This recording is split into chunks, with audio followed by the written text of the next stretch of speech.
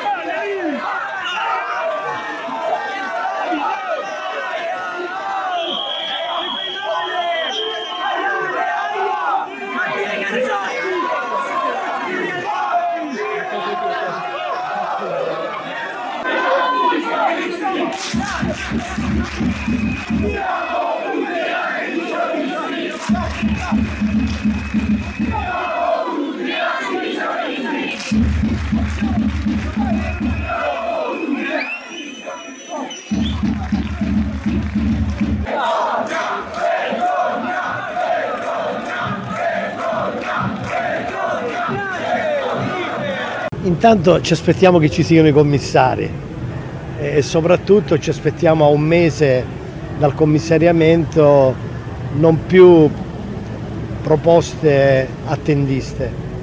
Eh, noi vogliamo che ci sia da parte del governo ed eventualmente ci auguriamo dei commissari eh, delle risposte concrete, eh, delle risposte che non siano più quello di programmare un qualcosa che poi diventa sempre aleatorio e non si realizza. Ormai la situazione era già drammatica durante la gestione Mittal. Adesso in questo mese non è successo nulla, o meglio, sono migliorati leggermente i rapporti con eh, le persone, eh, col sindacato, c'è sicuramente un approccio diverso, ma da un punto di vista però impiantistico, della sicurezza, eh, della ripartenza degli impianti, non si nota assolutamente nulla. Le risorse non sono arrivate, non sono, arrivate, non, arrivate, non sono arrivati 150 milioni di euro dell'amministrazione straordinaria, non sono arrivati i 320 milioni che il governo aveva promesso e programmato. Senza le risorse è inevitabile che la situazione continui a rimanere drammatica. Eh, abbiamo verificato, lo sapevamo già, l'abbiamo denunciato, la situazione impiantistica è veramente drammatica, cioè gli impianti sono in una situazione, eh, a dir poco una situazione che, che nessuno immaginava che fossero così, anche se noi sapevamo dalle nostre rappresentanze sindacali che, che, la situazione non era sostenibile. Si parla di circa 3 miliardi di euro di debiti di acciaieria. Beh, sono stati certificati purtroppo, ahimè, nonostante le nostre denunce eh, c'è un indebitamento che in questo momento qui coinvolge una parte del sistema delle imprese, dei fornitori, e sono però in cima all'amministrazione eh, vecchia, quella eh, diciamo che che è stata dichiarata insolvente. Adesso il tema è come questa nuova società, queste nuove società, perché ogni eh, ramo d'azienda ha la sua, eh, la sua amministrazione straordinaria ed in modo particolare diciamo, l'amministrazione straordinaria di Adi. E lì le aziende prima di poter intervenire hanno bisogno di poter ricevere eh, almeno il pagamento di una parte di, di quello trascorso, ma soprattutto se realizzano i lavori non possono aspettare 180 giorni o 120 giorni per essere pagati, quindi è la cosa che loro chiederanno. La garanzia nostra è quella di eh, fare in modo che i lavoratori non siano in cassa integrazione, almeno quello del sistema delle imprese. Per quanto riguarda invece eh, ADI, quindi gli stabilimenti, eh, i lavoratori stavano in cassa integrazione e continuano a rimanere, le materie prime non ci sono, eh, gli interventi sugli impianti sono quelle proprio limitatamente al, al, mantenimento impiantistico.